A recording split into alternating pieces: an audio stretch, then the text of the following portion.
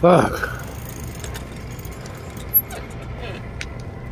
That's why it got harder, Rose. When you did that, you are against the tire. You know better.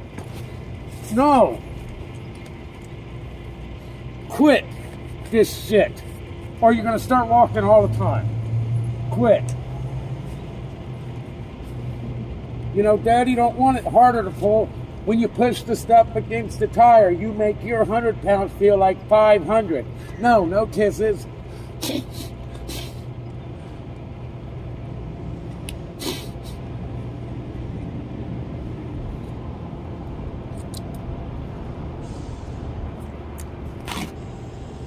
Come here.